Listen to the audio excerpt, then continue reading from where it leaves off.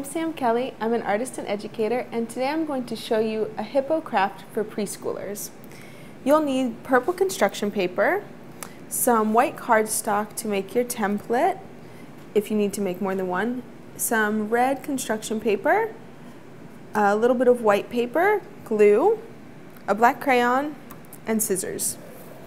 So I've made this template. It's kind of a pear shape with the top of the pear cut off and replaced with hippo ears, little, little tiny hippo ears. So I've made this template just to make it easier to trace around on construction paper. That way you can make them for a whole bunch of people.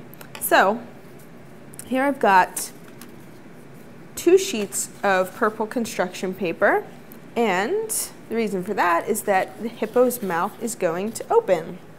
That's the sort of fun, iconic thing about hippos, right? Is that they're always hanging out with their mouths wide open. Looks like they're yawning and bored, but it's actually a show of aggression. They have super sharp teeth, even though they're herbivorous. Got super sharp teeth and fangs in there that they're showing to their rivals. So when you see that, run.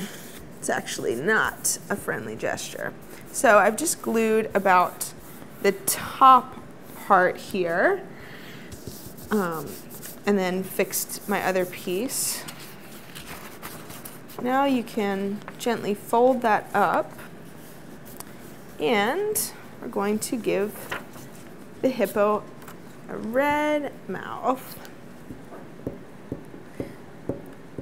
I've heard tell of this project being done with marshmallows for the teeth, which sounds awesome, but I don't know how you'd get the kids not to eat those marshmallows once you glue them down. So here we go. Just gluing it there where I've folded it.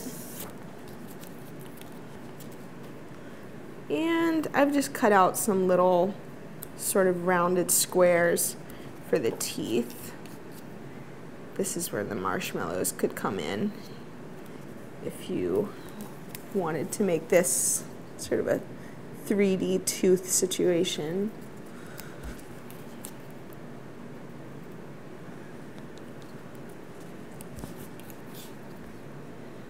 And you could also do some sort of counting activity with this too make everything about counting and learning shapes at this age. So, here are my teeth. Can you count them?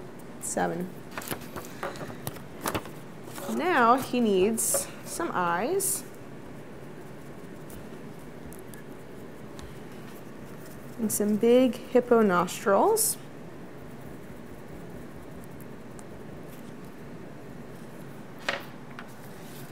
And there you have it. This is an easy hippo craft for preschool age children. I'm Sam Kelly. Thank you for joining me.